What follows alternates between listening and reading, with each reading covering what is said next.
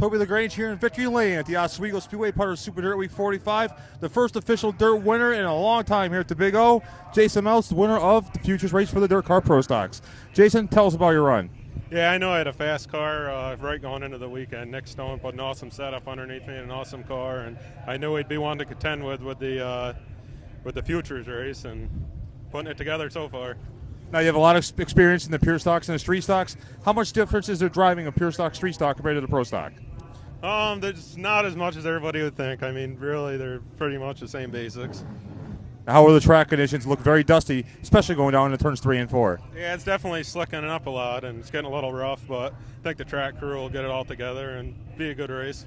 That was your DIRTcar Pro Stock Futures winner, $400 richer, Jason Meltz.